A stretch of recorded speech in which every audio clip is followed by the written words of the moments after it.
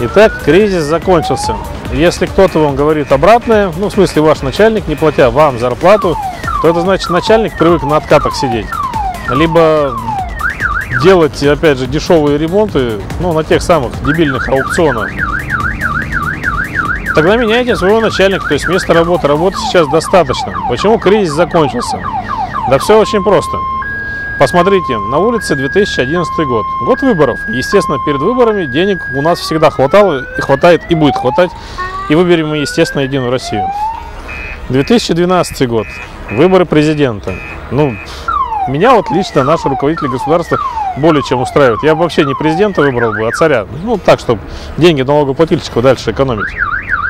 Такое было в свое время. Рюриковичей вы не Господь Бог нам послал, а выбрали его, призвали точнее. Потом 2014 год. Олимпиада. Ну, естественно, перед Олимпиадой, чтобы так делаться, как в 2010 и 2008 году, ну, это неправильно. Затем еще одни выборы президента. Затем уже мандювали, то есть футбол будем играть, как настоящие мужчины. Хотя мужчины играют в хоккей. Затем уже 20 год. То есть работы нашей промышленности выше крыши. Поэтому спокойно существуем, живем, тратим деньги, зарабатываем. И вот, кстати, раз кризис уж кончился, не пора ли вам подумать о замене вашей износившейся резины? Если кто-то забыл, то крупнейшая шинная сеть города – это «Автоград» и фирменные подразделения. Причем здесь и ассортимент крупнейший, и не только авторезины, но и диска. Ну а наша бесконечная история про автомобильную резину имеет свое логическое объяснение. Новые серии в эту мыльную оперу снимаются постоянно. В смысле, каждый новый сезон на рынке появляются новинки. Вот народ у нас очень придирчивый и вдумчивый. Использует российский интернет только для того, чтобы узнать, какая резина нынче в моде. Народ придирчивый и вдумчивый также покупает различные журналы. И придирчивый и вдумчивый пытается догадаться, где все это купить в Магнитогорске. Так вот, думать особо не надо. Едем в Автоград Вианор, что на улице Северный Переход. Ну, московское продолжение, не знаю. Как-то все у нас сплылось странно.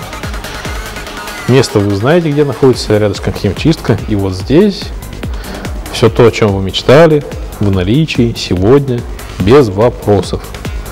И, честно говоря, вот даже некоторые типы резин я в глаза не видел и даже не читал. Но они есть.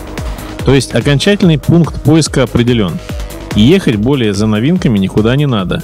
Если уж так случилось, что здесь нет, то благодаря хорошо развитой логистике, то есть интегрированной в склад предприятия базе данных о наличии, вам колесики привезут.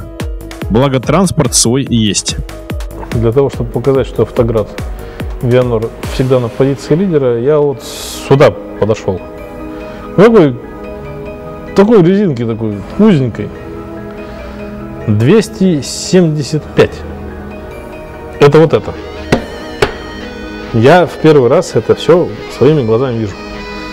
Есть, блин, и другая резина. 315. Ну, почти полметра ширина. Нормально, да, так? Где еще можно найти, как не в Автограде Вианор? Такая дивная резина ставится, кстати, на BMW X5.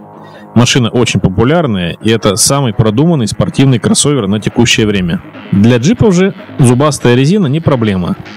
Ну а для тех, кто предпочитает разумный выбор шин и дисков на лето и на зиму, дорога в шинный центр Вианор. Ну и что вы уже окончательно офигели от этого ассортимента, ассортимент не вмещается на полке. Вот так автограф приготовился к, к лету. Полные полки летней резины. Всех марок, наименований, сортов, диаметров, типа размеров, чего еще. Мало того, еще и на пол поставили. То есть это, ну, в общем, понятно, да? Если хороший продвинутый специалист, ну или вообще любитель автомобиля, и вы уже точно определились, одна дорога сюда, на химчистку. Да. Еще один совет пробочникам.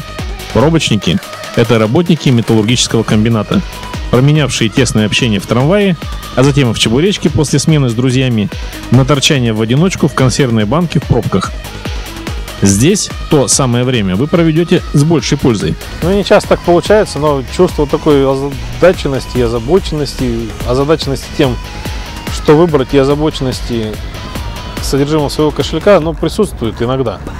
Потому что, ну, в городе есть любимый нами автоград с его обалденным ассортиментом, и начинаешь думать, что...